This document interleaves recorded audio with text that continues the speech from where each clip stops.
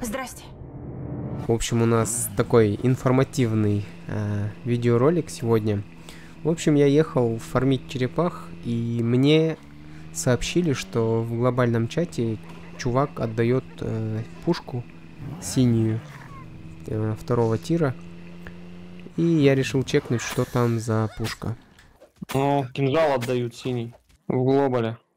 Шанс крита 4,8. Ну, бля, кстати, неплохой. Неплохой. А, Я знал, что если айтем подобран в PvP-зоне, если ты не состоял с этим человеком в группе в момент подбора вещи, ее нельзя передать, но мне ребята подкинули такую интересную идею. Можно его убить, и с какой-то вероятностью она будет выпадать. В голове возникали мысли о том, что меня могут там поджидать, поэтому я ехал туда на свой страх и риск, ну и ради науки. Я попросил его не выходить из PvP-зоны и дождаться меня. Э, Подъехав к нему, мы попробовали через обычный обмен передать мне пушку. Как я до этого и предполагал, это не сработало. Ну и настал час X, все ради чего сюда я ехал. Я изначально знал, что передача обмена не сработает, поэтому я решил предложить ему э, пасть от моей руки ради науки. Я не знаю, он согласится, нет? На что? Убить его. Смотри, еще оберу до нитки и доброшу подворотню умирать. Звучит привлекательно. Он согласился, прикинь. В общем, он согласился погибнуть несколько раз от моей руки, за что ему прям, не знаю, великое уважение с моей стороны, потому что, ну, так доверять незнакомым людям, это, ну, стоит уважения.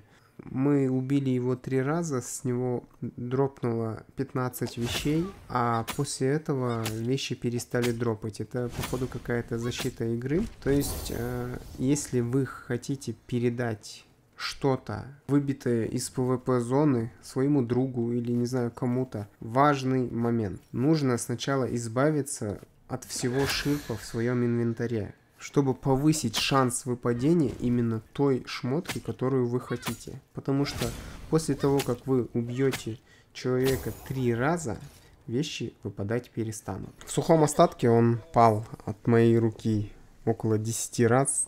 И получается, первые три раза выпали шмотки по 5 штук, то есть в общем 15 шмоток, а в остальном дальше шмотки выпадать перестали.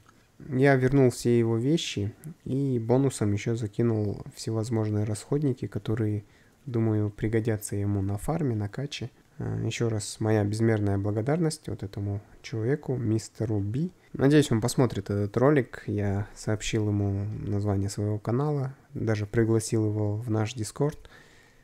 Ну, пока он не присоединился, но думаю, мой ролик до него дойдет.